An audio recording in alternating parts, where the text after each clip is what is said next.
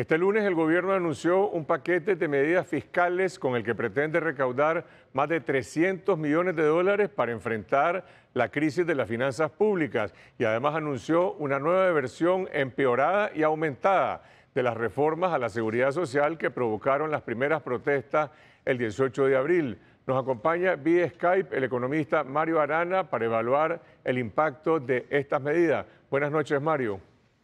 Buenas noches, Carlos Fernando. ¿Cómo se proyecta el impacto económico de este paquete fiscal que tiene un perfil claramente recaudatorio?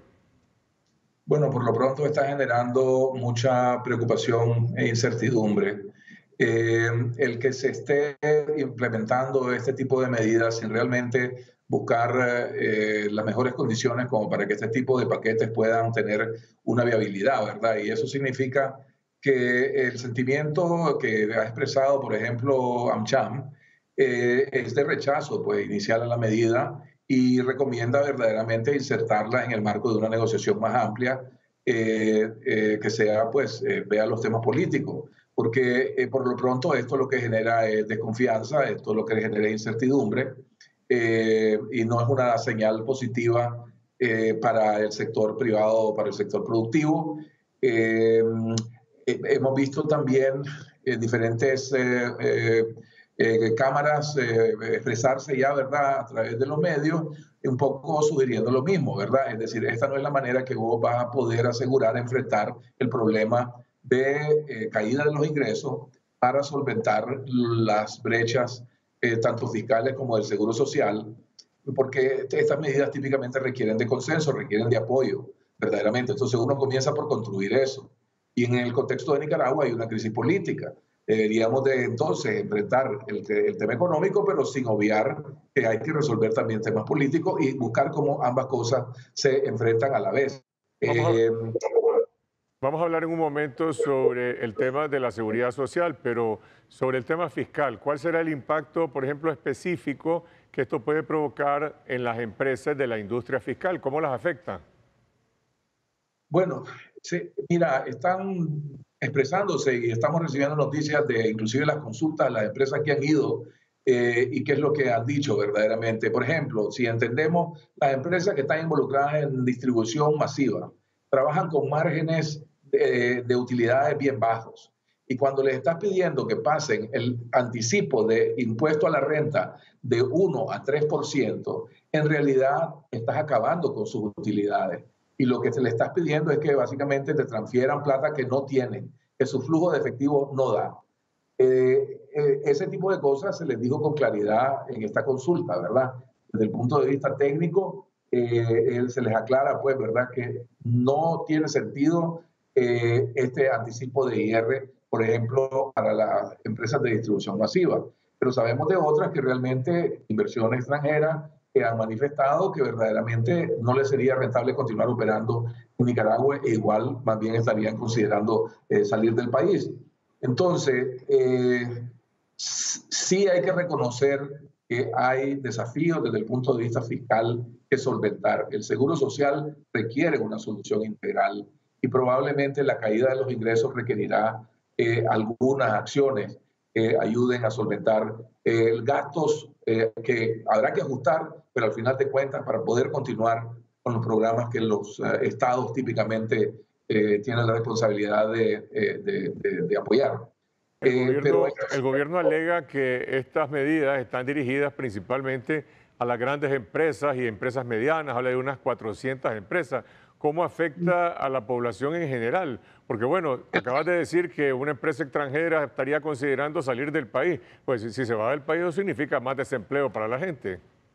Efectivamente, yo creo que ese es el problema. Es decir, esto no lo puedes hacer en la carrera en una semana y no es el tipo de soluciones o decisiones que se toman así. O sea, hay que medir y saber cuáles pueden ser los impactos y tratar de evitar, eh, eh, porque realmente, además, no es el momento de estar asumiendo un paquete como el que pretende.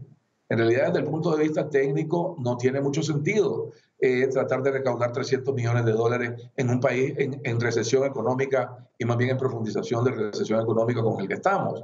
Entonces, eh, uno desde el punto de vista técnico difícilmente encuentra que sea muy viable lo que se está planteando. Y tampoco necesariamente es cierto de que no castiga eh, y que solamente castiga a los sectores más grandes. No es así. La canasta básica, que se dice que estaría protegida, no toda, algunos rubros de la canasta básica, pero la canasta básica tiene 52 rubros y resulta que no todos eh, eh, quedan exentos, ¿verdad? Van a tener que pagar impuestos al valor agregado. Eh, cuando pensás en lo que se está tratando de hacer con energía, igual hay, hay, impuestos que los va a terminar pagando todo el mundo. Entonces, ni siquiera tiene el cuidado de ser un paquete lo suficientemente diferenciado, ¿verdad? Eh, vende el concepto de que es para que lo paguen los, los grandes, pero en la práctica realmente aquí el impacto es generalizado. Este es un impacto del que no escapa nadie y realmente está introducido abruptamente. No recomendamos implementar reformas de esta envergadura de esa manera eh, eh, desde un punto de vista pues sano realmente. Entonces yo creo que el gobierno debería tomarse su tiempo, evaluar verdaderamente si aquí lo que corresponde es iniciar una negociación política también, ¿verdad? Y llevar esto de la mano. ciertamente hay una coincidencia de intereses. El sector privado es el primer interesado en que aquí encontremos solución al problema económico se, lo, se, tendría que estar haciendo de la mano del Estado. Pero también aquí estemos claros que tenemos un problema político, no se puede obviar. Creo que estas dos cosas van íntimamente de la mano. ¿Cómo, Entonces, el reto ¿Cómo evalúa las reformas, el proyecto de reforma a la seguridad social que se presentan como una versión parecida, pero también aumentada de las reformas que unilateralmente se impusieron en abril del año pasado y que provocaron las protestas? ¿Habrá un impacto económico, un impacto social? ¿Cómo evalúas este, este proyecto de reforma? Bueno, aparentemente hay impacto en ambos sentidos, es decir, porque en realidad eh, se pierden eh, beneficios y por otro lado se tienen que pagar más altos costos, ¿verdad? Eh, especialmente las empresas, pero también los, los trabajadores. vamos a lo mismo, es decir, o sea, está introducida de una manera nuevamente unilateral, cargando de un lado el peso el ajuste y no haciendo el trabajo con el enfoque integral con el que, el que se debería estar haciendo. Eh, y eso realmente resta competitividad, impacta en las oportunidades de empleo eh, y no necesariamente garantiza que se resuelve el problema de manera sostenible.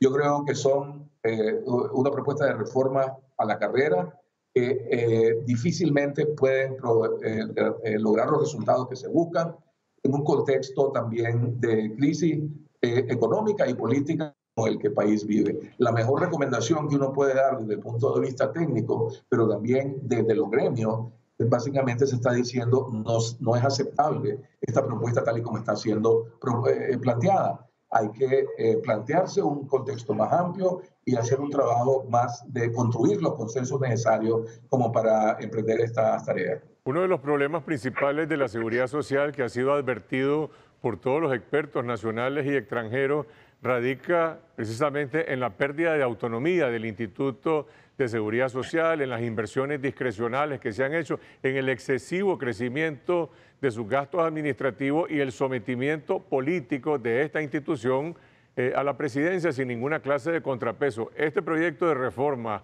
eh, dice algo en relación a cómo modificar ese problema que es quizás una de las causas estructurales de esta crisis que ha conducido a la bancarrota de la seguridad social? Mira, en privado se ha dicho y he escuchado de, algunos contactos con el gobierno que ellos eh, efectivamente van a ajustarse también internamente en el gasto, que creo que es lo razonable, ¿verdad? En estas circunstancias. Uno tiene que eh, buscar el mayor eh, balance, pues, ¿verdad? pero eh, no, en el caso del Seguro Social no entendemos ni hemos escuchado, ¿verdad? Más allá de la propuesta que está en la reforma, eh, ¿qué más desde el punto de vista integral eh, está intentándose o se está pensando hacer? Pero realmente es más de lo mismo que vimos en abril, que de por sí se rechazó entonces y porque no llenaban las condiciones para resolver el problema de fondo. Entonces no estamos escuchando necesariamente nada, nada nuevo y creo que las cámaras se van a estar pronunciando al respecto porque no creemos que la solución eh, va a, darse con este tipo de medidas.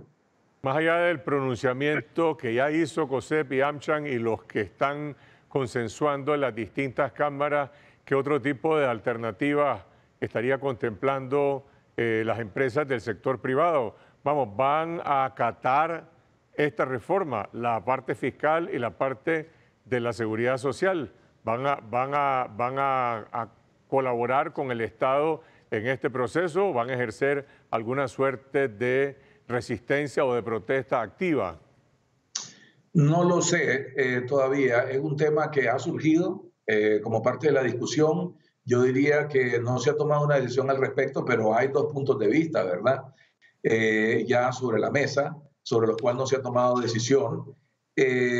Al final, realmente lo que termina sucediendo en estas circunstancias es que se buscan la forma de evitar asumir eh, imposiciones de esa naturaleza.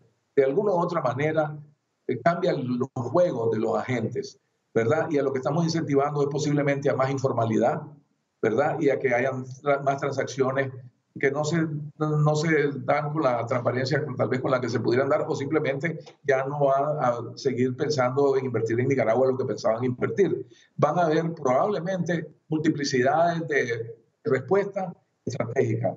En el fondo, cada quien está pensando que a lo mejor, bueno, es decir, esto es lo que se tendría que eh, eh, renegociar o replantear a la hora de que haya una mesa de negociación política que se está anticipando que pudiese ocurrir en un plazo relativamente corto, porque el país también lo necesita.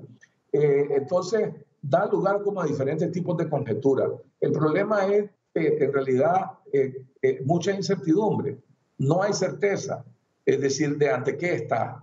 Y entonces unos están pensando, bueno, esto va a estar en una mesa de negociación, otros están pensando, mejor me voy a invertir afuera, otros están pensando, bueno, voy a buscar cómo me informalizo sinceramente, ¿verdad? He escuchado los, tres tipos de argumentos, eso es lo que va a ocurrir, esperan que ocurra. Eso no es bueno a la hora de implementar este tipo de reformas. Que tenga ese tipo de reacciones no es bueno. Normalmente acá se han implementado reformas y se han asumido, y se han asumido con la conciencia de que están haciendo y tomando las decisiones que hay que respaldar, pues porque ha habido un proceso de construir consenso, de llegar a a tener eh, puntos de convergencia. Los jubilados, eh, los jubilados que salieron a protestar el 18 de abril ante esas reformas impuestas de manera unilateral, que incluso le imponían impuestos a las pensiones y ahora en este nuevo proyecto estarían reduciendo las pensiones en un porcentaje que algunos estiman casi como en un 30%. ¿Qué tipo de reacción o alternativa pueden tener frente a un proyecto como este cuando en el país hoy existe un estado distinto al del 18 de abril. Estamos bajo un estado de excepción de facto, donde los ciudadanos no pueden ni siquiera salir a la calle a enarbolar la bandera nacional. Sin embargo, como vos has dicho, bueno, la gente busca la manera también de expresarse y de, y de, y de desacatar este tipo de decisiones. Bueno, responder cómo la gente va a reaccionar. Eh, eh, pero me imagino de que eventualmente va a ser claro eh, lo que esto ha significado y va a abonar allá un malestar que deberíamos de reconocer que el país tiene en cómo venimos manejando las cosas, ¿verdad? Y que nos debería de llevar a pensar sinceramente cómo realmente reconciliamos a Nicaragua de verdad. Esto es abrupto, esto es hostil. Eh, no me queda muy claro realmente si hay una motivación política y si, o si realmente es un problema económico que ya sabemos que efectivamente lo es, porque se han caído los ingresos y se requiere, ¿verdad? Obviamente cubrir una serie de gastos. Pero nuevamente, no creo que es la forma sana de enfrentar el desafío que el país tiene. Eh, creo que es la movida equivocada y que solamente viene a crear zozobra. Y francamente, eh, cuando me presentó alguien del gobierno estas ideas que tenían, esto fue exactamente lo que les dije. Van a crear más zozobra, esto va a traer incertidumbre, no nos va a resolver. Eh, busquemos cómo le damos una solución de fondo a esto. Gracias, Mario Aranas, economista, por sus reflexiones sobre el paquete fiscal y el paquete de reformas a la seguridad social.